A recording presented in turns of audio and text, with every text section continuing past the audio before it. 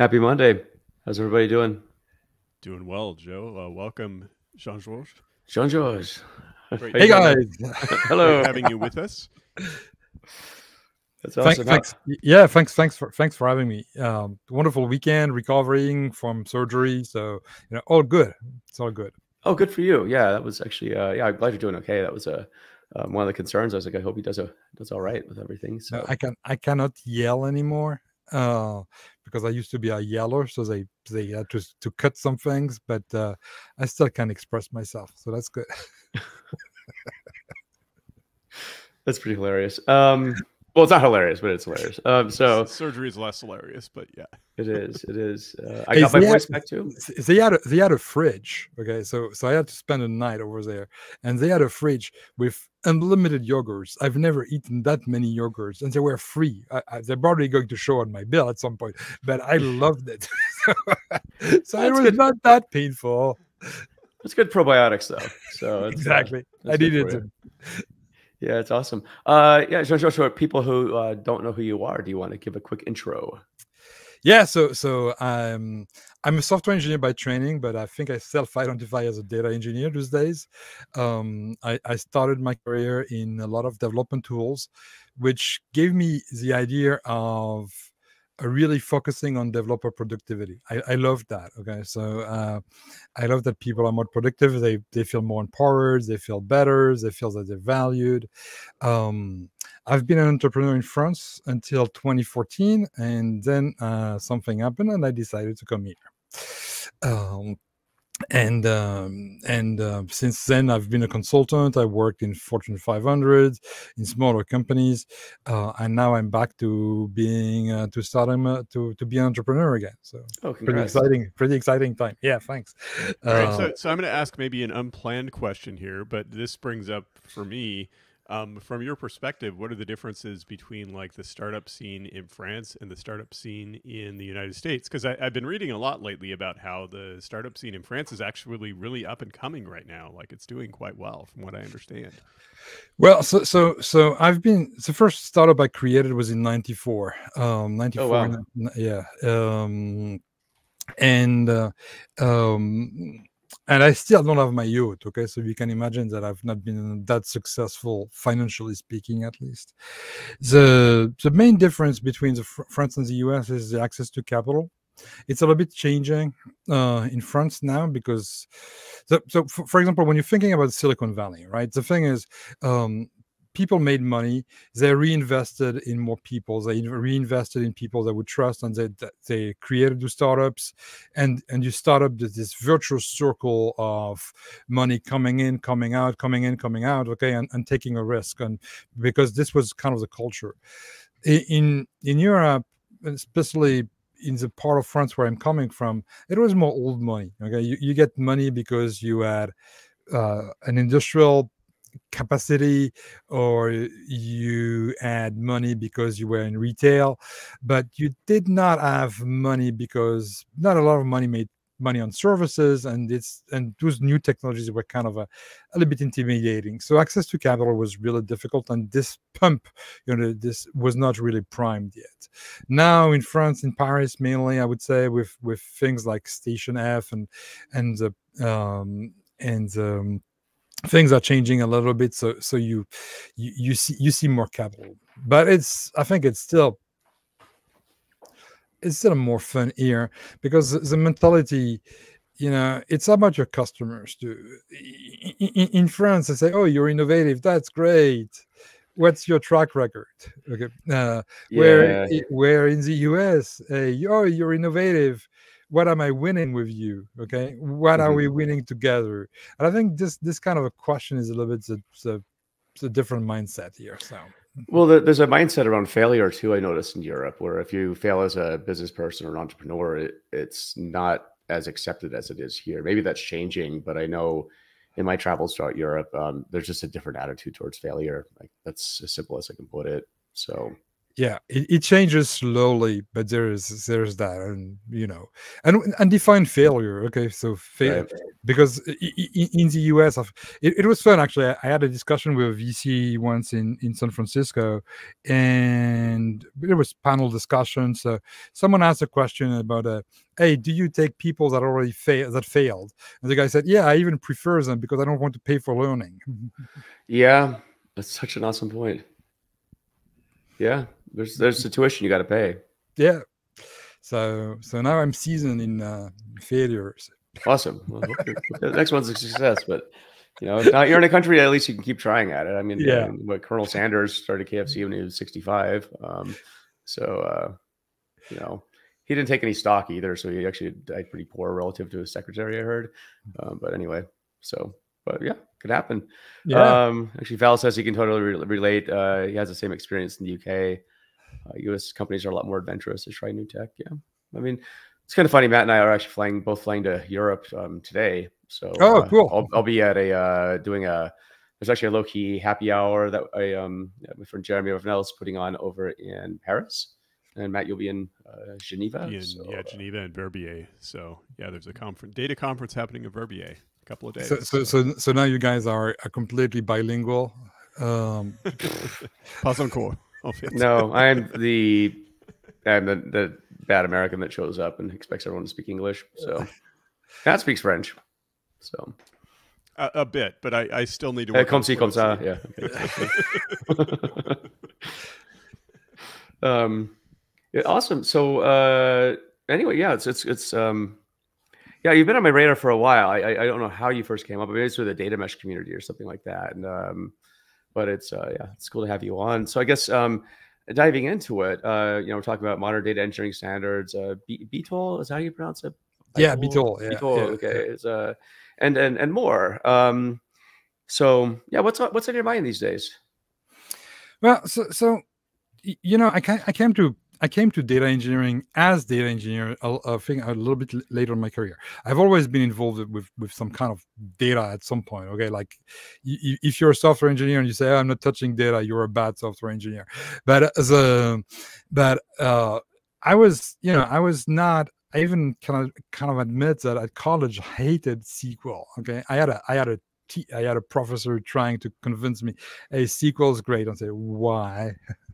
and and uh, so so so so it's it started a long time ago but i, I recovered okay uh, like you recover from data science i recovered from sql and um and um but anyways the thing is um what i kind of realized is that we've been doing data in a very ad hoc way for a long time um like oh i need this data please do it and and we ended up creating thousands of pipelines. And I've been at companies where they have hundreds of thousands of pipelines. I just wonder, they, they, they just have teams trying to make the inventory of what the pipelines are. It's kind of, yeah, uh, it is, it is, it is ugly.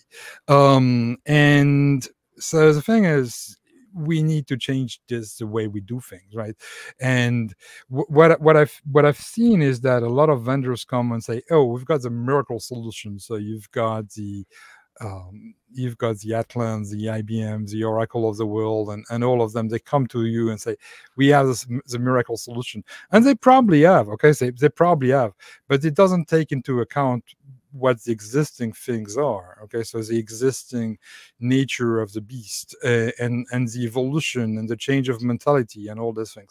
So I think this is where we need to have more than a technology change and more like a, a way of thinking change and, and that's mm-hmm. why i mm. think this is this is a difference for me between modern data engineering and you know modern data stack, for example, okay, which is just a bunch of tools. But the practice itself of engineering is evolving. And I think it's it's not like it's going, oh, it's not like it's oh, it's 20 years late because it doesn't do agile compared to software. Uh, right. Uh, I think it has to it has to evolve differently because it's a different beast. Okay. But definitely inject more agile into it okay so that that's that's my current line of thinking and i think that what what drove me into into Bitol. So Bitol is a, a project um, by the Linux Foundation, uh, and the idea of this project is to standardize standards sorry uh, around around modern data engineering and and one of those standards is data contract but it's not the only one we've got on our scope or radar of of that it could be also um, data products eventually data mesh or it could be the way tools interact with each other.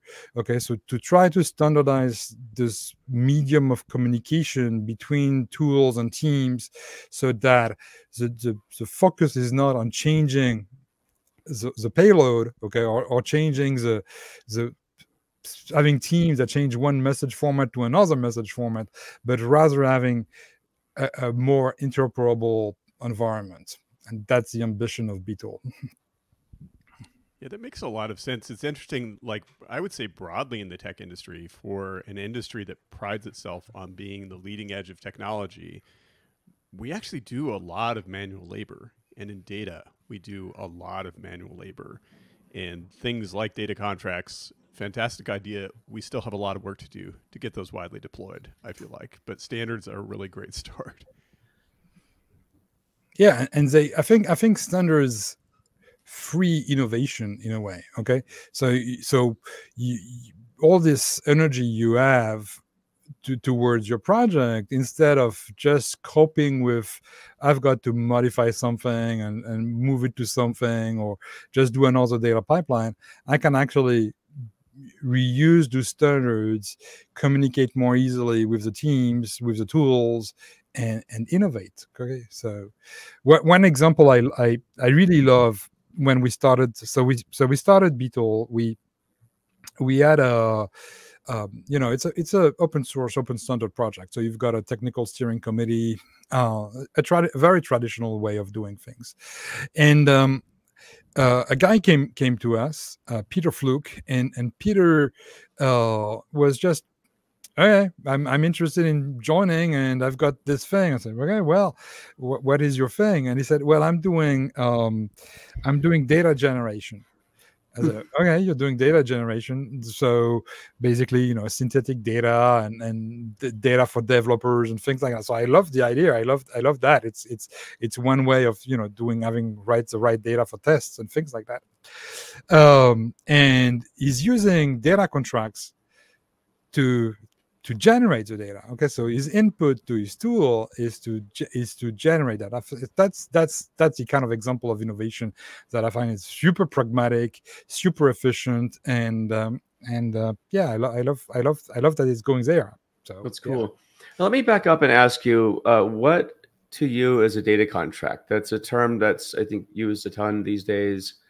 Um, i think that there are, are a few different versions of, of what data contracts mean to people. Yeah. Um, and by the way, you also wrote the definitive guide on data contracts. Um, yes. So it's uh, very thick. Yes. Um, so uh, dive into that. It's actually it's actually good. Um, but yeah, what what does a data contract mean to you? Well, I, for, first first um, we we use the term to Andrew Jones, but I never really liked the term um, um, because I think it's it's a little bit you know when you're speaking about contracts you're, you're thinking about something that potentially has has a lot of implications somewhere right? Or is that a that okay the, f- the first guy that comes to you and say hey here's your contract you kind of run away. So the first reflex you have really i so, do yeah. uh, yeah the lawyers the lawyers have gotten involved run the interview as quickly they as ruined possible. it all for everybody and, and and the second thing is it's it's it's data so it's it's, it's the it's not only about data and and the thing is it's it's a little bit like a like when you're thinking about Zhamak Dehghani's you know four principles for data mesh the federated computational um, governance yep. I, I i like to think about uh, about the data contracts like a little bit like a computational brochure okay so mm. so so and and this is basically creating the link between a data producer and data consumer eventually with an s okay? And hopefully more more s possible at consumers. But as um but that that's the idea okay? Creating creating this artifact that is on which you will trust but it, it doesn't have to be a contract as as you know set in stone like uh but but more like a brochure like hey this is the advertisement for my for, for my data this is how it behaves this is the sla you're expecting out of it um and and um and I, that's how I see it. Okay. Yeah. And- and- so, so I'm not too much into the enforcing. I know that some people are into the enforcement of data contracts. Yeah, I, I, I never wanted to be a cop when I grew up. So, so There's a cop on this book, though. The other book, Data Mesh for All Ages. So I don't know, George. well, I respect, I respect cops. But there's also a firefighter and a dog. um, all jobs that you should aspire to in the data world, by the way, because this is what we do a lot. Um, so, but the uh, yeah, the notion of data contract, I think it's it's it's a good one, um, and it's necessary. I think it's it's one of those key components that would be necessary for that federated um, computational governance layer that Zhamak I outlines. so. So I think it's one of those. That's one of the uh, cruxes. I think um, to making the data mesh work is that piece, and I, I think we're getting there, but it um, it obviously hasn't. Uh, Yeah, yeah, and, and yet, so. I, I I was I was you know I was I was lucky enough with to to to work on PayPal's implementation of a of a data mesh, Yeah. and uh, uh, so as we were building this thing, we realized okay we we need we need some kind of resource descriptor okay? Um because because we need to we're not going to build a data product and then copy the code and build another data product and etc we we need to have something like more more dynamic okay? Like uh, um and and that's uh, as, as Zhamak describes it. And and so we needed to have something like this resource descriptor and that's that's how we came out of the idea of oh this this could be a data contract okay?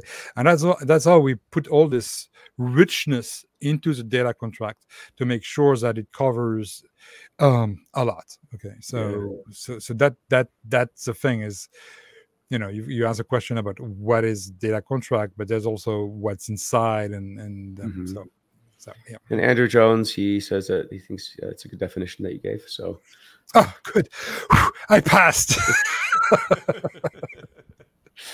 if if andrew is okay with me I, I, I, and by the way andrew is also in the in the technical steering committee of Bitol, so awesome.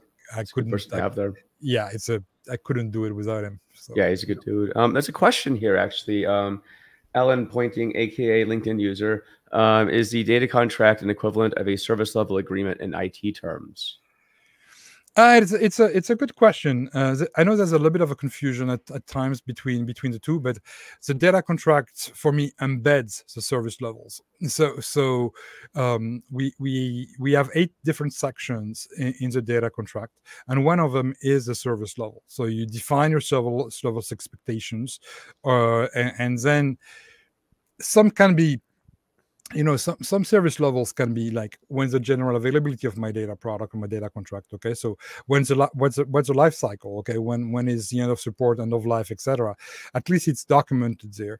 But you can also say hey it's a batch it's a batch and i'm expecting it um at 9 a.m every day okay? And that's also where you describe it. So that's so it's it's when when when a lot of people when you ask them about SLAs, what they think, oh, it's the number of nines the system has, but it's it's a lot more than that. Okay, so so and I and I I think I hope I I answered the LinkedIn user, the anonymous LinkedIn user's questions there. Ellen Pointing, yeah, uh, but sometimes people's names show up as LinkedIn user. So Okay. just- yeah, but Speaking of data contracts and data transmission failures,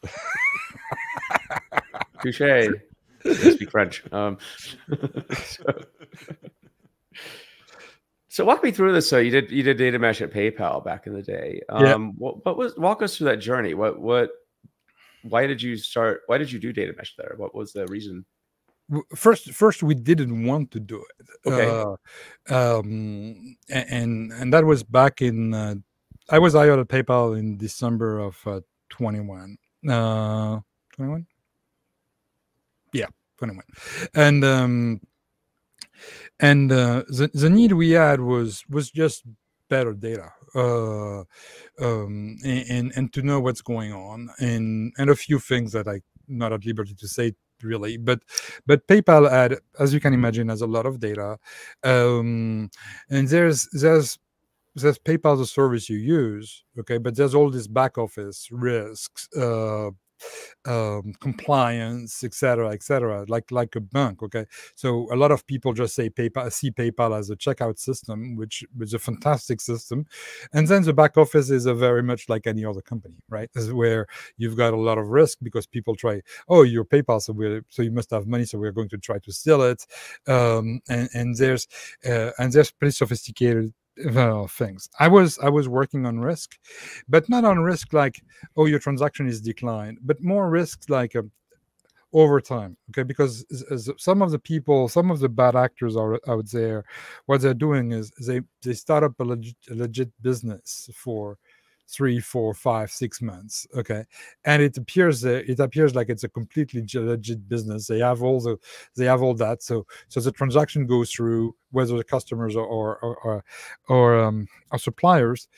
Uh, but at some point something goes weird okay and, and and to to do that it's it's more complex so that's why we needed better data and that's where we decided to um for for for that and other use cases uh, mm. build build data mesh. But but as a business unit okay so i was attached to risk organization um and and um so we were a little bit off from the central data team as well. So we so that that's how we started it. And uh, so we've identified you know we've identified all our needs like a good project. We went to the to the we went to the board we started development um, and then we had our that was in the middle of the pandemic as well. The, so we had um we we we we we we, we met finally and we realized that what we were building i, I like to, to you know the, the the dna of the monkey and the DNA of the human. I think there's a, like a two two percent difference.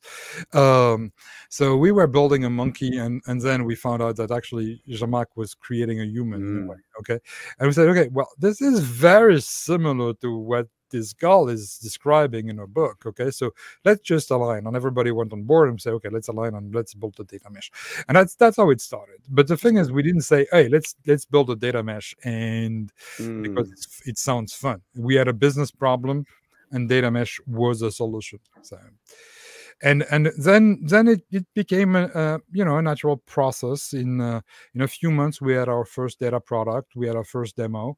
We we started having this different planes and different toolings for the different planes as as Zhamak describes it.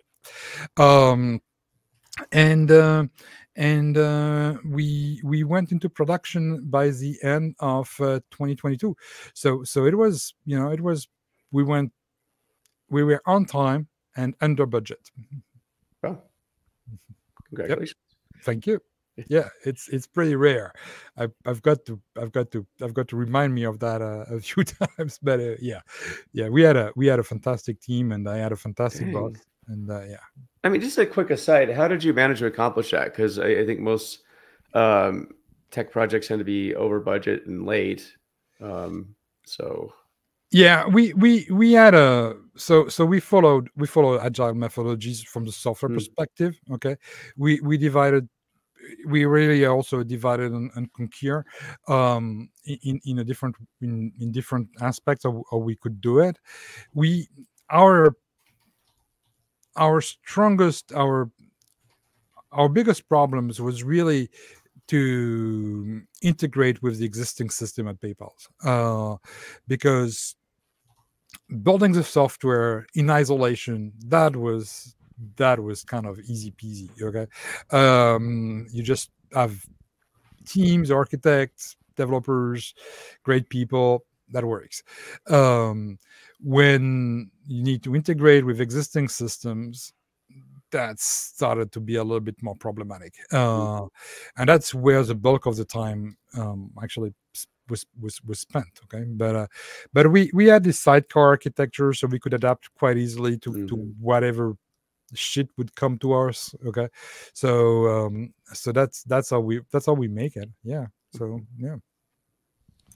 And what so once this got deployed uh, how did the business interact with it? Did it solve the business problem that you set out to solve? Were there surprises it, it solved uh it well the first thing is it was a version one right? I think it was post i would say more than a, just an mvp but it was a version one. It solved some of the business problems um not not all of them. Um but they were they were they were planned to to be solved after. Uh, the first version didn't uh, focus mostly on data discovery um, and that was because that was one of the problem. And also the, the life cycle of the engineer to get or the analyst to get access to the data okay? So how do you get access to the data? So so that was one of the thing uh, we we solved in the first in the first version. Um, then uh, documentation was one big thing and the integration with notebooks because mm. a lot of people were we're working in in well, still working with with notebooks.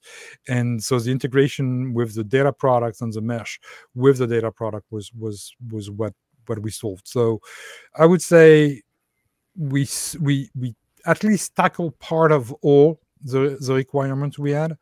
We didn't fulfill that with the first version but we continued after um for for for like a good three months after on that yeah. Mm. Oh, I love this emphasis on data discovery. I, I don't think we do that enough in this industry. Um, so Ole Bagneux wrote this book on the enterprise data catalog. His background is in library science, and that's his whole thing. Like make the data, make it possible to see what's out there for all the stakeholders. We're still doing a poor job of of doing that particular thing. When we mm-hmm. talk about data mesh, that's like a very core part of it. Yeah, yeah, and and and uh, I think Ole has, has has great ideas, and, and the company he's working with is also uh, exposing a lot of those new concepts, which is very interesting. Mm-hmm.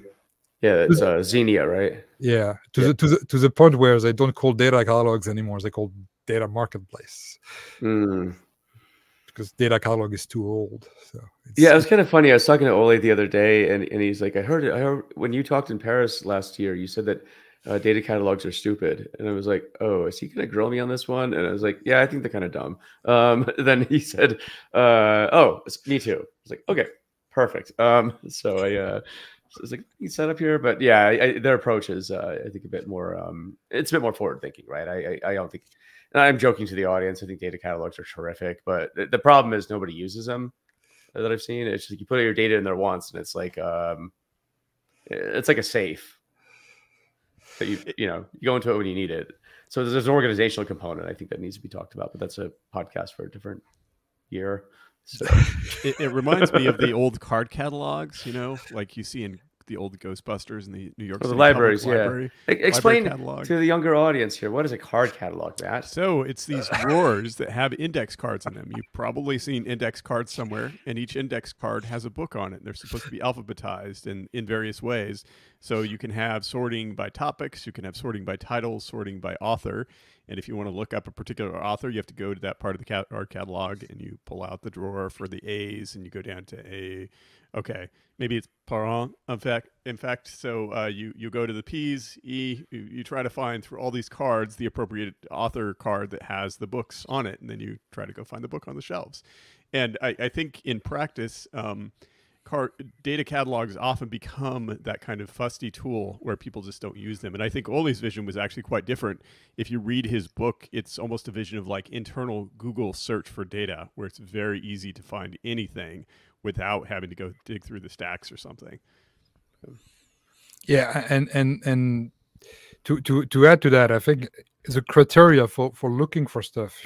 You know, you were you were mm. mentioning this all these index cards, but it's I want it goes back to the SLA. Okay, so so so because I want this data but one of the criteria is that the freshness or the latency is less than two days Okay. Yeah. Uh, and, and and that's okay. Data catalog can do it, or data marketplace can do it, but you've got to be able to capture this, and that's where the data contract comes into into into the game as well. Okay, so um, I, I even I, I tried to coin um, something called the data quality of service so data qos mm. okay like like mimicking a little bit the qos in networking but where it would embed data quality and the SLAs, um, because I think I think those those guys are really close together. Yeah. And and uh, data quality is often like okay this range of value or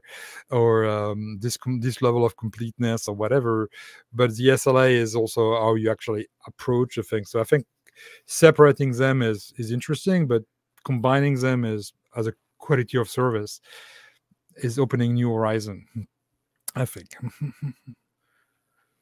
i think so too and yeah, it's um, it's funny. I was actually just uh, in the course I'm working over, uh, just going over a report on data quality now. So I think it's what I find interesting is that people like yourself, I think, who have come from more of a software engineering background, are now, um, you know, applying a lot of these same principles to, to data, right? Um, and I think it's I think it's really cool to see. Uh, I think for the longest time, you know, data sort of existed as a um, sort of a back office type thing, really, right? And so, um, and, and kind of get into the notion of uh, modern data engineering standards. Um, what what are some of those core uh, kind of software engineering principles that you're you're um, you know looking to I don't know bring over if that's the right way of putting it, but uh, you know you did mention QS for example as one of them. What what, what are some other ones? Well, the, the, the, the one that that that comes to mind really is is really agility. Okay. Um, mm um, I think that I'm not trying to oppose waterfall to agility, but the thing is, um, agility had 20 years to prove itself in in software, and nobody's doing it very rarely or for very specific reason but mostly people are doing agility now. And and and it works okay? It's, it has a track record that shows that projects are more successful that products are more adequate etc etc so so this this agility helped. And as a consequence of that is this product thinking. Um mm. and, and i and i think that that's you, you, know you you've seen the scenario where a, a consumer of data he needs a data um, is going to ask everything possible you know like a uh, I, I, don't remember what the quote was but oh if you ask a data scientist what data he wants it's going to be all the data in one table. Um, and and um, and and so so if you if you if you if you completely open the gate that that's what happens. And and if you you know if you have to press a tick to place a ticket and then a team takes it and and and then it's going to be when they have the time, etc., etc. So the classic waterfall and and and, uh, and system tickets and tickets and tickets system. Um, this this is very unpredictable for for consumers. They don't know when they're going to get it, and if there's a problem, well, they don't know when they're going to be revisited on this thing. Okay, so so it creates it creates this this need of oh i'm going to ask for for everything possible so so that i i don't mm-hmm. have to to go back to the team to ask them and it, it creates bad blood by definition okay so so but if you if you have a product team and say okay well i can start with that okay knowing that there's going to be a new iteration of that of, of the product okay i can start with these five fields and see how it works. And and then i can i can that i can maybe use that. And now you've got a data mesh or with where you have exposed several data products and you can easily combine them you can probably do it even in a self-service way okay? So so so uh, and and i see that it's not science fiction. I've seen that more and more working. Okay, we were Scott Hirleman and I. We, we were at, in Barcelona in January, and okay. and and Globo uh, is is working like that. They've got now like 800 data products. Okay, in six wow. months. Yeah, so so it's creating another problem, but a problem of the riches, which which we can solve differently. But and that's where I guess data marketplaces where which are smart, which are leveraging the SLAs that are in the data contract can can be better so so it's very i think it's very exciting because a lot of the things is we, we came from hey i need to move this data from this database to this parquet file okay please yeah. do it as quickly as possible and um to a to a way where the marketplace is can of help you say hey oh the data already exists. You can pick it here and you can subscribe to it. And by subscribing governance will be aware that you're subscribed. And and so so you're you're solving a lot of different issues with with this modern way of thinking okay? So the, the you know uh, uh, uh, at at paypal the integration was difficult we I I still have I have a lot of great friends there, but changing the mentalities is the biggest most difficult thing. Okay, so, so, so and I think that uh, the and you know when Zhamak in her book says about data mesh that it's a socio-technological platform, I think nobody understands enough of the socio part. it's very underrated. Yes. Yes. Very underrated. Um, data contracts too, right? I mean, data contracts are all about getting different teams to interact more appropriately and to really share knowledge when things break. I mean, yeah. What what what I, what I tell to people about data contracts is is uh, you, are totally right, Matt, when you say that that people you know it's it's a change, okay, and people are resisting to change, okay. That, that, anyway, but there the work they have to do when they have to fulfill a data contract. Is very similar than the work they have to do when they when they deploy or deliver a data set. Because the the additional work you've got to do in a data contract is publish a data contract but you still have to do the documentation okay? You still have to do the data quality. But if you do that once at the data contract level and then a tool takes the takes the information from the data contract publishes it in the data marketplace, publishes it with the data observability tool or the data quality tool, then you've done the work only once. Is the tooling available right now? Not completely, but you know, like Soda, for example, is doing work on data contracts. Mm-hmm. Um, on, on the on the documentation part, you, you you've got basic things coming out. Uh, you've got our friends at datameshmanager.com that is also doing things there. Um, so so we're we're we're we're getting there. Yeah, and it's a progression. It's a progression. Yeah, yeah, yeah. yeah. yeah I mean, it's it's agile. Yeah. I mean, it took, it took it took a while for microservices, I think, to to get traction too. That was, and that's, I wouldn't say it's the same thing, but it's sort of the equivalent ish of um, you know how we how we handle data. Again, it's not a one to one comparison, but I think it's a comparison. Um, I agree with that. Yeah, Bart has a question.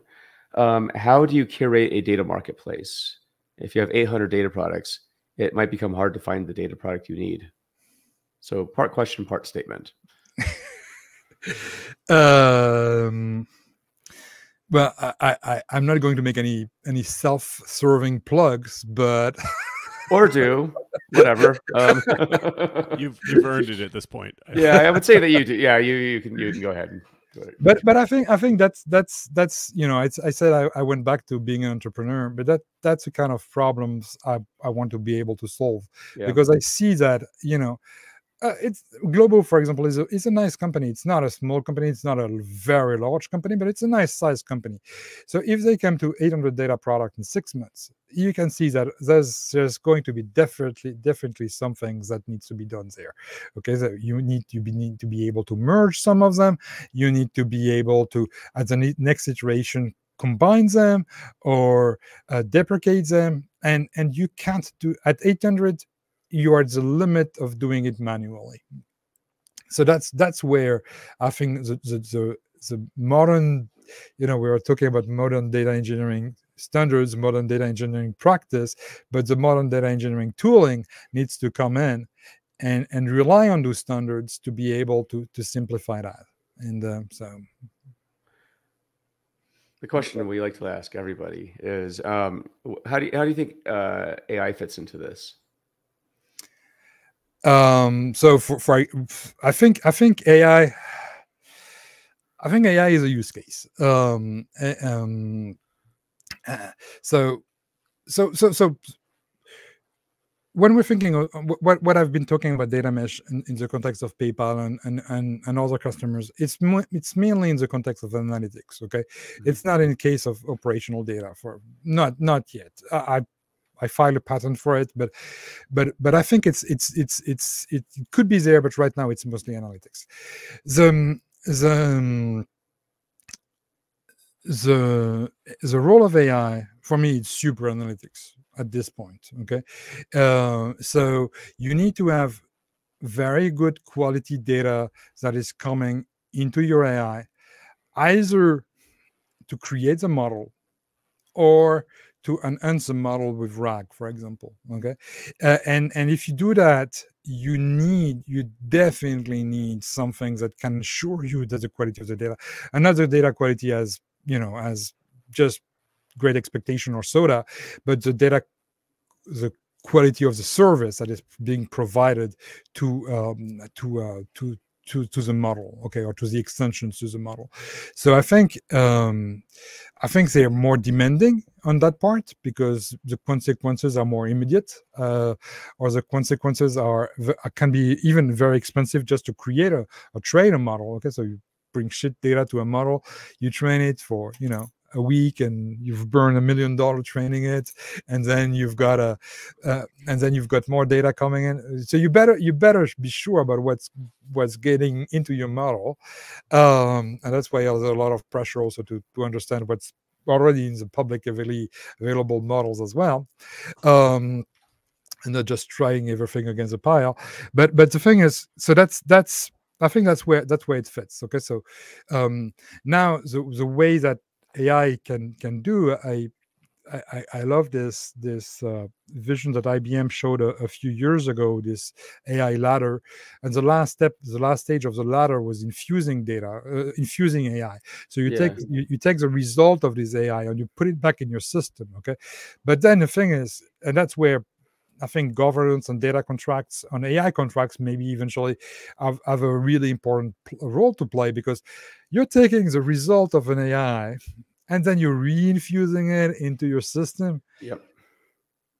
This can be almost scary at some point. the feedback loops are interesting for sure. yeah. yeah. And you need human feedback loops everywhere because and you need to have them really well well integrated as well. And, and Zhamak describes that pretty well in the book as well. She does. Yeah. Yeah. Actually, I like your uh, AI contracts. It's a, I've heard that, but I think it'll be okay. Let's say I coined it, so because otherwise, um, otherwise, um, Andrew is going to say I coined AI contracts. So when he's on the podcast next to you and he says that, you can say, "Oh, well, that that's a good, uh, good description of it. I like that." Um, maybe we need another debate or a beat or something like that. yeah, Andrew's so nice though. I, I know, I know. Yeah, he's just he's, he's, the nicest guy in the universe. So so so is uh, so is uh, Jean-Georges. Um, actually, Tamara uh, Tamara has a question. I hope I'm pronouncing your name right uh, regarding AI use in uh, marketplace build. Um, one way AI can be leveraged is mapping and linking elements across massive amounts of data. An example of 800 data products. On the question of quality, um, although AI could help you, wouldn't you want human validations to manage, maintain, and enhance training over time? Um, Maybe. okay. I, th- I think I think I think I think I think I think human validation. It's like you know, it's like it's like when you're thinking about it, you know, one difference software and, and, and data as well is you do you do you do peer review okay? When you when you pull you do a pull request or something this is a this is one way of validating it. So maybe this is one way to do it as well with with ai and, and validation okay? Something else it needs to be in your almost ci-cd pipeline okay? So so yeah. otherwise uh, i don't think it's going to happen. Yeah and it kind of reminds me of um how social media companies will uh hire uh, fact checkers and just people looking for uh, abusive content because you know social media is at such a scale that I would think that would be automated, but obviously then that has its own set of risks. So there's still people validating even you know amidst, amidst like billions of posts a day. I'm guessing, right? So yeah, it's a good question. I guess in some way you, you might want to like statistically sample things and just you know um, kind of like you would in an assembly line. I mean, that's exactly, but... exactly. I love, um, you know, I've when I love the analogy with the assembly line because because it it, it works well also when you're thinking about uh, um, about data products or about uh, uh, because because or, or just just the idea of federated you know a, a lot of people say are, are are against a centralized system okay so and, and then they say okay then the opposite of centralized is decentralized. And I, I would say I'm kind of a little bit disagreeing with that. The, yes, the, the complete opposite is decentralized, but it's it's also proven not to be really successful. But Mhm. federated is is probably the way to go. Mm. And going back to the to the to the assembly line, you've got the people on the assembly line. They know their shit. They know what's going on. They know when something is wrong. Okay, if you ignore this knowledge, there's no way someone in the enterprise level uh, headquarters somewhere is going to get this information okay that's where Mhm. federation is really important federation Yeah. of the knowledge i think I agree. Yeah, and a vendor's not going to get it either. I mean, they help you with the tooling to help your process, but at the end of the day, you still got to have the domain knowledge. Uh, yeah hopefully you have that. If you don't, I don't know what to tell you. Um, uh, Jason Taylor, who used to be called LinkedIn user, um, he says you mentioned that tooling needs to come in and help with the prior scenario where um, the person mentioned 500 data products or 800. Um, I'm curious. He, he is curious about your thoughts on how the process changes prior to tooling. Um, he says we jump straight to the tooling answer versus an upstream correction to how we get to uh, uh, say 500 data products in this case. So I, I we went to, we went to jumping to the tooling because in the case I, I don't want to speak for Globo, uh, but um, my understanding, and I agree with them, is that they are in a in a in a in a building phase, in a growing phase. Okay, so um, was expecting 700 or 800 in six months or or even more? I I don't know. Okay, maybe maybe not. Okay, but the thing is, do you want to stop now that you've started the, the machine? Do you want to go back to your data scientist and your user and say, well, guy, actually, uh, you're not using the tool anymore, or you've got to follow this whole process again. Okay, um, so so I think that that's where. Um, as Mrs. Vasquez was saying just before, that's where maybe AI can help, or this is where uh, the tooling can help, or or someone can help. Okay, uh, I just think this is, a, for me, it's an easy, easily automatable task, especially when you're relying on on data contracts, for example. Okay, because you've got so much richness about what you're what you're dealing with, that that simplifies a lot uh, your your your work.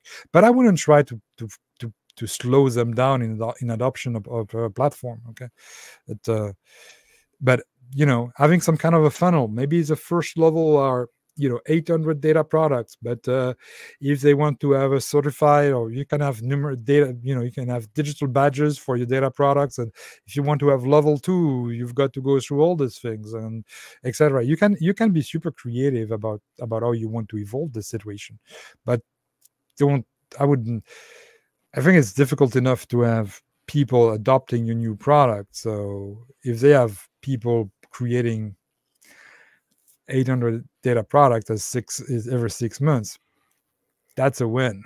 yeah, that is a win.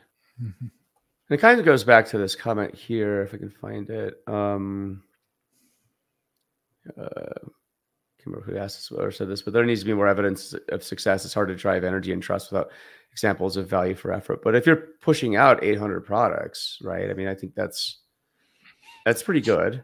Obviously, It- if the products are you are useful, um, but I think you would also know that. So and, and and they're not made by a central data team, right? They- They're Right. made they made they made by the users themselves. So that's okay cool. um so and, and that's where for example at paypal we were not to that point. We still needed a team to build the data product for you. Um but but so the self service was was component was not completely there. But um but if if you have that level of engagement uh I think it's. I think I'm going back to it. I think it's just fantastic. I just, I just love it. You know? So, so, so, so you, you just, yeah. It's, it's, it's, it's. I'm jealous. But it's cool to see, though, right? Because I mean, you, you hear stories like this. I hear stories like this, and it, and it makes me happy, right? Because it shows that, um, you know, that vision of um, you know decentralized, uh, you know, data products, uh, it can happen, right? I mean, it, it is happening. So, because you know, it's, it's, sometimes I you know I go onto social media and I see people saying, "Oh, data mesh was." Um, you know that it's all dead and it's a waste of time and stuff. I'm like, no, I mean, I I, I hear of cases like where it's working, you know, and, and I think that's that's the proof you need. Whether or not you know you want to call it whatever you want to call it, I think that's that's on you. But at the end of the day, people are getting benefit from it, and so you know that's um that's what I, matters. I, I, think I think I think you, I think you, I think you're spot on. You know, um, when you're thinking about what Gartner said a few years back, that that uh, you know when you look at the, the, the curve of adoption, um, uh, and they were saying that. Um, data mesh w- was was dead like right, almost like right away right and and uh, um not even not even before uh, the, the, the, the, doomy part of of the of the and I, and I think we we I think they were they were wrong on this one. I think that data mesh was probably where they situated on the curve at the kind of the hype part. Mm-hmm. We are a little bit past it now, uh, and um, and and probably there's a little bit of deception, okay, on people being deceived by it. Okay, yeah, makes sense, but we're how close are we to the bounce back uh, and, and, say that hey there's really some success. I, I hear success. Scott Hirleman is is hearing a lot of success yeah, about about all that. So um so so yeah it's really I, I, think i think i think we will see some positive things coming out okay oh yeah. that. And, and still working on a product too. Oh, she is. And I joked with her, you know, a, a, bit ago that like AI is probably the best thing that happened to to, to her in, in a lot of ways because it took the it took the pressure off, right? It took a lot of the attention off, and now she can just focus on, you know, actually making a product and making a company versus just everybody and their dog chasing after data mesh. Um, you know, and and I, I think renaming it or you know just, just abusing the idea of it and the term, like you know, a couple years ago, I think it was peak uh, data mesh washing or mesh washing as we called it. And it was just everybody was a data mesh vendor all of a sudden. Now all the same vendors are magically AI vendors. I don't know how that happens. It's just uh, they must have a really uh, you know flexible team and skills and everything, but they just data mesh here, AI over here. Who knows what's next? Yep. Um, you know, but that, but I, I was glad to see that it happened because I know that it was, um, it was just, it's, it reminds me a lot of what was happening with the, the you know, the, the modern data stack discussion last week and the week before, which is he sort of, um, as Tristan Handy from DBT put it, the, the modern data stack became a meme on itself. And at that point, it kind of deserves to maybe, you know, take a break. so it, it, it's, it, it might be, it might be self-serving at some point as well but but but uh yeah. but uh no but uh going going back to data mesh so data mesh is for me um in, in is for me for really I, I really strongly believe in it in in the as a future for most data platform uh, if not if not if not all um mm-hmm. as as as that uh i think uh, the I, I wrote a blog a post on on the paypal engineering and it's actually right now it's the fifth most popular blog post on the PayPal engineering on Medium. On Medium. So if you guys can just go there and click a little bit and clap on it, that I can go to the fourth place, that would be great. Um, and and um, um, and, and but but anyway, I think I think I think it has it has not shown all its potential yet. No, not not uh, even.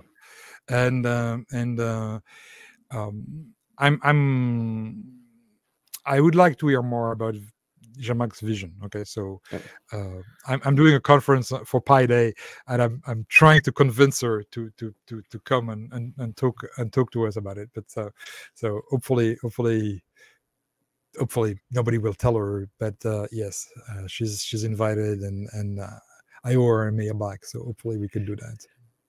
Uh, it's not like I totally won't send her a text message that she should be going to this after the call. please, please, please do, please do, please do. Uh, that's cool. So, what do you have coming up? I, uh, you know, I want to give a, a, a, five minutes left, but I want to give you know a plug for um, some of the work you've done so far. Uh, you've written these uh, fine um, books here.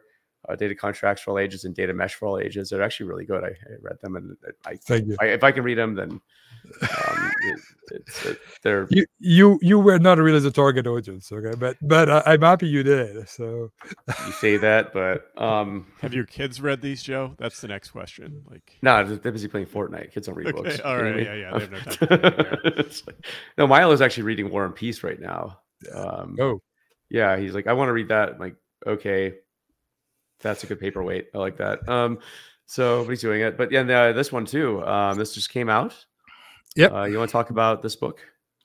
so this this this book um, is is is this one. Uh, it's it's a it's a it's a great book on modernizing architecture. I've been involved as a as an enterprise architect in in um, many organizations, and um, and I think that a, a lot of uh, a lot of the approach that we are putting into architecture is not as structured as it should be and not, not as rich as it should be and uh, nick did uh, an excellent job in, in in doing that. I contributed very modestly to this book um, on, on the part with data but but uh, but the overall idea from nick and and it's a very it's a very nice book it's a So very you nice wrote book. the um, chapter on data mesh uh, revolutionizing data engineering, and let me just go to that so I can show it. yes Um, it's yes. actually it's I need to read that chapter. I'm only through chapter three now. yeah and, and you've um, got nice you've got nice uh, nice uh, planes explanation and things like that so yeah, good graphics. Um, I'm I'm also writing another book right now with uh, Eric Broda on uh, Oh. implementing data mesh. It's going to really, be published uh, by O'Reilly. I did. Uh, I left. I left Manning for this one. Um, not saying I'm not going back, but uh, different different publisher. no, Uh, O'Reilly was a bit of a child's dream to to you know. So, um, but um, yeah. So implementing data mesh is, is about taking all the ideas we we had and. Uh, uh, and Eric and I, we we we work on a few things together, but we have different ideas. We just put them together in a book, and we we we try to make it consistent. Uh, so so that's that's an interesting thing. When I when my, my first published book was this one, Spark in Action, uh, second oh, I remember that. Yeah, so so Old school. a little old school now. Yeah, Yeah. uh, published uh, published um, in 2020. Uh, this this was compared to compared to the for all, all ages. You look that's that's pretty thick, right? Uh, Yeah. yeah. Um, but um, so this one this one was more like a a, a, a- solo work, right? Really, is the idea is uh, oh yeah, I want to publish a book, and it was 300 pages on Spark. Took me three years. Said I'm not going to write the first book, but I'm going to, be- to write the best book on Spark. I don't know if I achieved that, but that was a, that was that was my goal. Uh, and um, and uh, it was um, it was it was a lot of things, and the, the consequence of that saying that I'm not going to write a book by myself anymore. Okay, any any time. Okay, so Mm. uh, because it's too much work. So that's why I partnered with Nick. That's why I partnered with Eric. Uh, so yeah, so that was that was a fun thing. That's cool. Yeah, co-authoring's fun, right, Matt? It is. It was very intense. Um, Joe and I had to go through like marriage counseling afterwards. I think we literally had to go through it, We here we literally are, went through so. counseling. I'll say that. I'll say that in public. Like true. it was. Uh, yeah. Matt's different than me, and I'm different than Matt. I'll leave it at that. so, so, so give us a preview of the new data mesh book that you're writing. Um, when you say like, how far into technical implementation are you going to go, and how much is the emphasis, on the other hand, on the sociological organizational side? So so we have we have um we have three parts in the book. We divided the book in three parts. The first the first part is really about uh, um, in a way summarizing Zhamak's book in one chapter. Okay. Uh, uh, so so uh, so I would recommend that. I, I I- I like to see our our book as you know volume two of of Zhamak's. Okay, so you read Zhamak's first, that and and then you can read ours. Um, but but basically the idea is the first part is that okay you get get into it and and we try to follow a use case about about climate change okay and, and collecting climate data that's our kind of use case we try to to, to follow along um then we then we um we go to the technical part which is a lot trying to focus more on the architecture and the implementation okay that's a thing like that's what on purpose Zhamak left out of our book i think. Uh um and and we don't go to the code level but we go to the almost almost a story level okay? So so if you if you're thinking about the, the a user story in, in in in agile we we try to go almost to that point okay? To to to to that level of details and we we start by um, the general architecture then what's what's a what's a data product or data quantum how you assemble them how you place them on a plane and and and we added also a chapter on Gen AI on and um, and and uh, and data, and then the third part is all about the, the people. It, it's just about how do you manage this thing? Uh, what's it? What's the specific team topologies you want to apply for for for, for that? So that's that's what we try to do in, in the in the in the book as well. Okay, so so it's it's it's a socio technological book. Yeah, that sounds really cool. When's it going to be out? Uh, so there's a few chapters on, on Safari uh, or the O'Reilly Learning Platform already, um, but there's uh, we're, we're targeting a release for uh, October, November, so everybody can have it for Christmas. Why don't we have you back on the show and we can talk about it when it's uh, out? Sure, yeah, maybe with Eric as well. Yeah, yeah, yeah. be dope. Yeah, be good. Um, awesome. Well, it's a pleasure uh, talking to you. Um, I, I feel like we'll be talking more because you're you're really cool. Well, yeah, so. already an hour. yeah, already an hour. Feels like it was only uh, five minutes. Um, well, awesome. Yeah, thanks for being on the show. Uh, for people who want to learn more about you, how can they get a hold of you? Uh, go to LinkedIn, uh, but don't be a stranger. Just don't click on connect. Usually, I'm so far I'm filtering a little bit, but just hey, say hey, I've heard you on Joe or uh, um, or whatever. But yeah, I, yeah. I, I try. I try to you know, if it's not obvious that I know you, that yeah. Yeah, yeah. I think uh, I understand. So, um, cool. Then Matt, uh, any uh, anything going on this week? Uh, just the upcoming conference in Switzerland, basically. So I will see you there shortly. It's called Skiers in Data. Yes. So you happen to ski and you happen to be in Data and you happen to be in Verbier, Switzerland or near there. Um, come say hi. It'd be a lot of fun. Um, totally won't be a rambunctious party at all. I'm kidding. Uh, so, no, um, I mean, last year a lot of great conversations. Like the talks are great, but just the opportunity to connect with so many people in the industry that you might not see otherwise. Uh, mm-hmm. Kind of a bit of a. I, I think it's still pretty American focused, but it's also a bit of a European access event, whereas we're maybe used to going to a lot of American events, and so it's a bit of a different. Uh, different meeting of minds happening there. Uh, mm-hmm. Shout out to Chris Tabb. Thank you for putting that together. He's probably yep. already left the comments, but if he's there. I think he's in Verbier actually, from what I heard, but we'll find out.